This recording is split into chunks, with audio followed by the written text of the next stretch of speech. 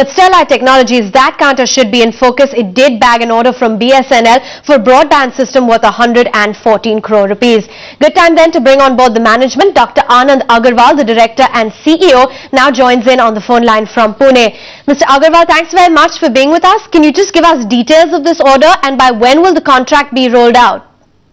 This order is essentially an order for uh, furthering the BSNL broadband propagation throughout the country. So this order would supply about 1.6 million broadband connections in various parts of the country. And uh, the rollout will start from uh, later part of Q3 and go well into Q1 of the next fiscal.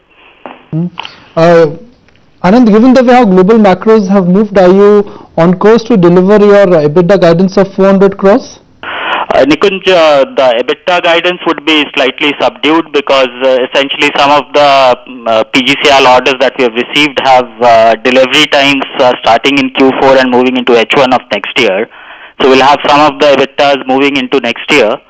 Uh, but H2 definitely will be much better than the H1 performance, and uh, the uh, future future uh, definitely looks much better. So what will be your revised guidance for this current Uh, financial year? we'll now? be coming up with revised guidance at the end of the Q2 results. So it will not be less than, three, will it be below 350 or still above 350? Uh, those, that number, Nikunj, I'll be able to give much better once the Q2 results are out. Okay, and if you could just highlight the order pipeline currently?